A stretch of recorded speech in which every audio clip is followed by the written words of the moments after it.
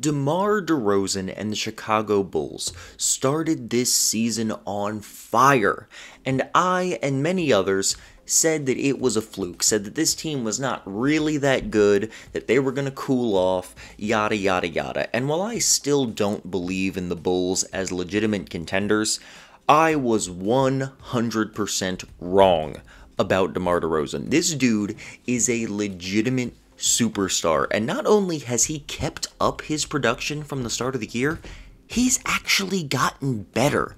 The man is currently averaging 28, 5, and 5 with a steal, on 52% shooting from the field, 87% from the free throw line on 8 attempts a game, the man is carrying the Chicago Bulls. He is absolutely carrying them, specifically lately with Zach LaVine out with an injury. When he got hurt and Lonzo and Caruso have been struggling with injuries this year, I was like, all right, this is where this team is finally going to struggle. They're going to start to fall in the standings. But no, because DeMar DeRozan has gone out and made history by doing a record. He has broken a record by Wilt Chamberlain, which is something that never happens. All the time you see records, quote unquote, get broken, and there's a caveat at the end that, with the exception of Wilt Chamberlain, it'll be like, oh, this scoring streak was amazing except Wilt Chamberlain's here that was like 10 times as long. Stuff like that, you know what I'm talking about. But DeMar DeRozan has become the first player in NBA history to average 35 points on 50% shooting over seven straight games. Wilt Chamberlain previously held the record with six.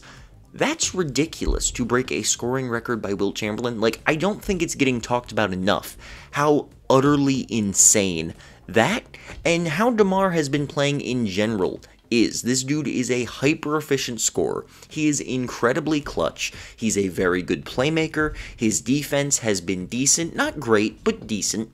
And he is carrying his team to currently be tied with the Miami Heat for the first seed in the Eastern Conference.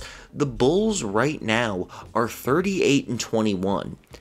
That's insane considering how many injuries they have had, and they also have the third best offense in the league. And while there are a lot of good offensive pieces on this team, like I said, Zach LaVine is missing time right now. Nikola Vucevic started this season hurt. DeMar DeRozan has been the one consistent for this team throughout the years.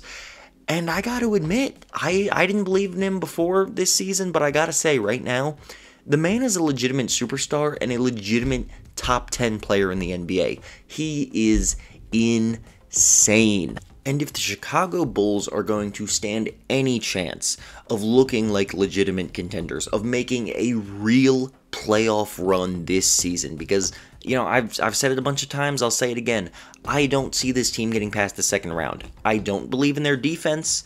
It's really just because I don't believe in their defense. But if they're going to go anywhere, it is going to be on offense. And as good as Zach LaVine is, as good as Vucevic has been lately, as good as some guys like Lonzo can be when they're playing, it's going to come down to DeMar DeRozan continuing to look like an MVP caliber player if the Bulls are going to get it done in the postseason this year. And I'm I'm excited to see what he can do. I'm really happy for this guy. He's been through a lot. He's uh, if you followed DeMar DeRozan for a little bit, you've seen that he has had struggles with depression. It really took its toll on him when he got traded from Toronto. He's had issues with people in his life dying.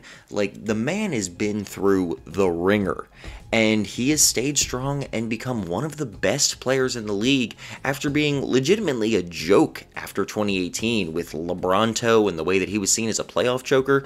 This dude has his chance to completely turn the narrative around this season. I'm happy for him. I'm really happy for him. Never, never like a big fan of DeMar DeRozan before this season, but dude's playing incredible, and I hope he manages to keep it up. Obviously, I would like the Sixers to win the East. Uh, I do not want the Bulls to win, but nevertheless, I hope he keeps playing this amazing and he starts getting the respect he deserves because I feel like the NBA media kind of talked about him in the beginning of the season and then just stopped, and I really haven't seen much about him in the last few weeks when he is playing the best basketball of his career. So yeah, DeMar DeRozan, MVP candidate, legitimately. Don't have him over Embiid or Jokic, but like he's up there. He's up there in the top five with Curry slump and Kevin Durant being hurt. And if he keeps playing as well as he has been, I mean, I'm not going to have any choice but to really put him into that top three conversation with Giannis Embiid and Jokic. They've had it on lock for like a few months now, but DeMar DeRozan could really break into there if he keeps his Bulls at the top of the East and keeps playing this well. Give the man his damn respect.